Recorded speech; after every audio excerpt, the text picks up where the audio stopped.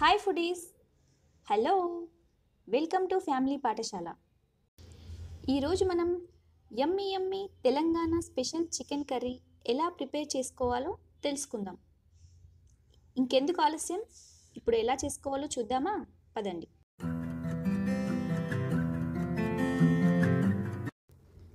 ఇప్పుడు కావాల్సిన ఇంగ్రీడియంట్స్ చూద్దాము.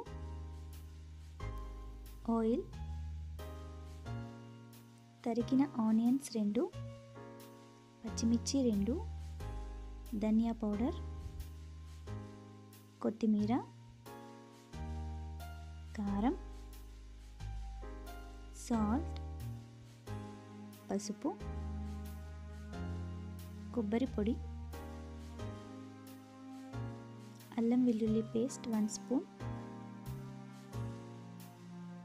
లవంగాలు యాలకులు వెల్లుల్లి రెబ్బలు.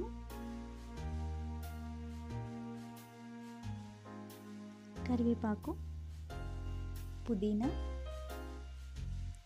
చికెన్. ఇప్పుడు మనం కొత్తిమీరని సన్నగా ఈ విధంగా కట్ చేసి పెట్టుకుందాము.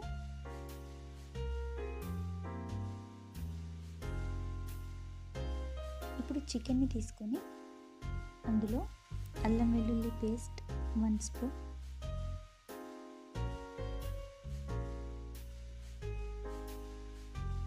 పసుపు వన్ అండ్ హాఫ్ స్పూన్ కారం. నేను హాఫ్ కేజీ చికెన్ తీసుకున్నాను. త్రీ స్పూన్స్ ఆఫ్ కారం వేస్తున్నాను.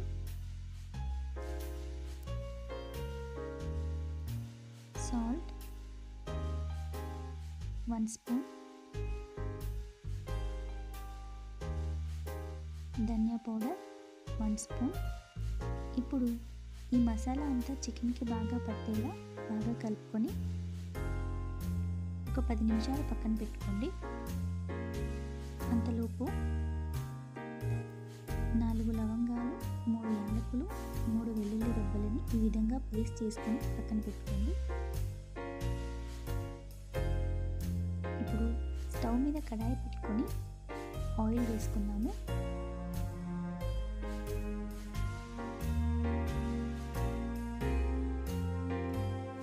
హీట్ అయిన తర్వాత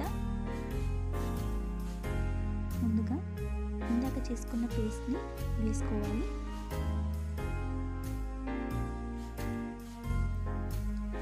పచ్చిమిర్చి వేసుకున్నాము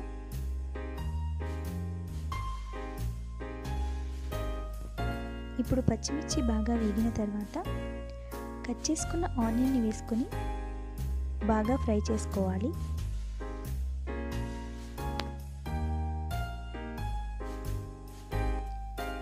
ఆనియన్ మనకి గోల్డెన్ బ్రౌన్ కలర్ వచ్చేంత వరకు ఫ్రై చేసుకోవాలి.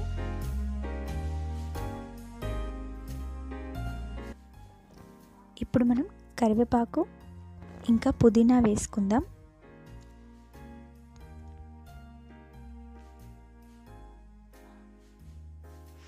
మనకి పుదీనా వేయడం వల్ల చికెన్కి మంచి టేస్ట్ వస్తుంది. అండ్ స్మెల్ కూడా చాలా బాగుంటుంది.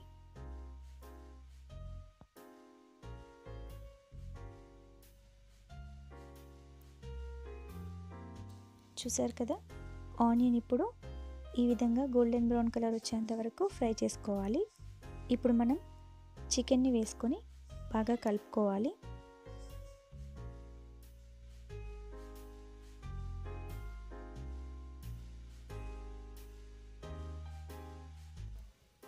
ఈ విధంగా బాగా కలుపుకొని ఇప్పుడు మూత పెట్టుకొని ఒక పది నిమిషాలు ఉడకనిద్దాం. అండ్ స్టవ్ని సిమ్లో పెట్టేసుకోండి.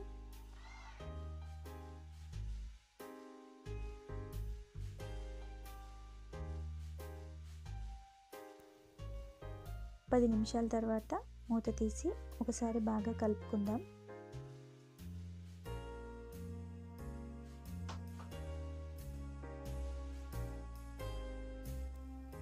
ఇప్పుడు ఇంకొక రెండు నిమిషాలు మూత పెట్టి ఉడకనివ్వండి.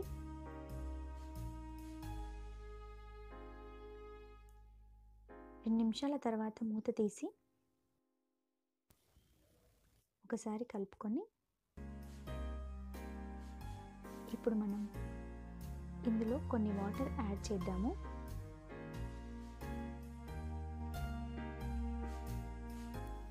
మీకు కొంచెం గ్రేవీ ఎక్కువగా కావాలనుకుంటే ఇంకా కొన్ని వాటర్ యాడ్ చేసుకోవచ్చు.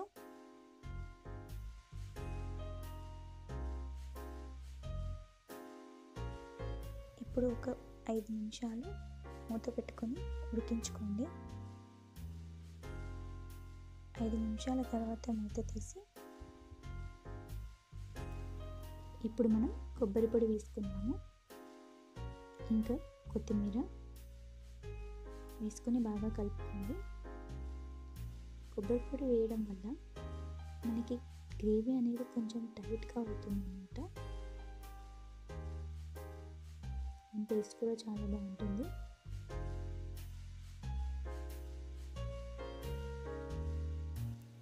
ఇప్పుడు ఒక వన్ మినిట్ తర్వాత మూత తీసి చూస్తే మనకు చూసారు కదా చికెన్ బాగా ఉడికిపోయింది. అంతేనండి. Super and tasty chicken is ready. ఇప్పుడు స్టవ్ ఆఫ్ చేసుకుని ఒక సర్వింగ్ బౌల్లోకి తీసుకున్నాము